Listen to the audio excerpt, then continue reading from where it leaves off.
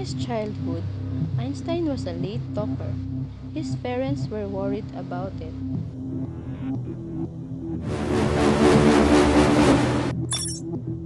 Finally, one night at the supper table, Einstein broke his silence and said, Soup is too hot. His parents asked why he never said a word before.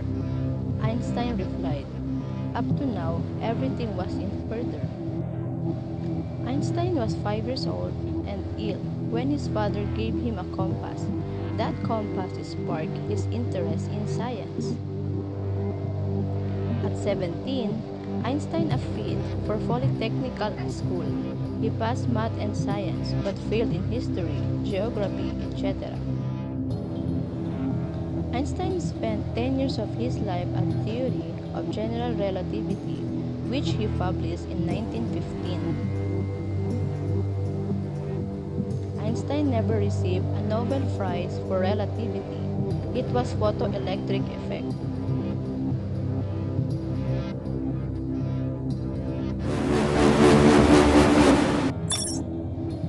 Einstein used to love music.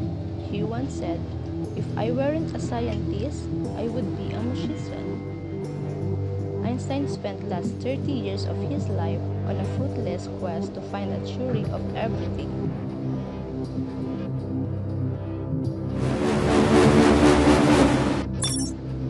But Albert Einstein could never succeed in it and died while working on it.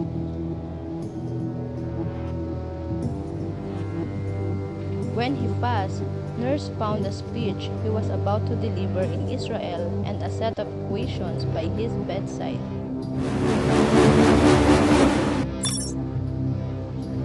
His last words will never be known. He said them in German, but the attending nurse didn't speak German and couldn't recall what he said.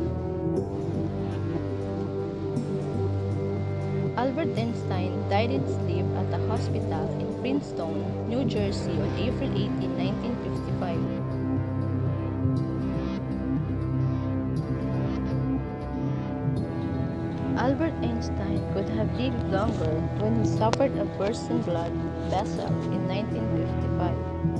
Doctors told him that the surgery could have saved his life, but Einstein declined by saying, It's tasteless to prolong life artificially.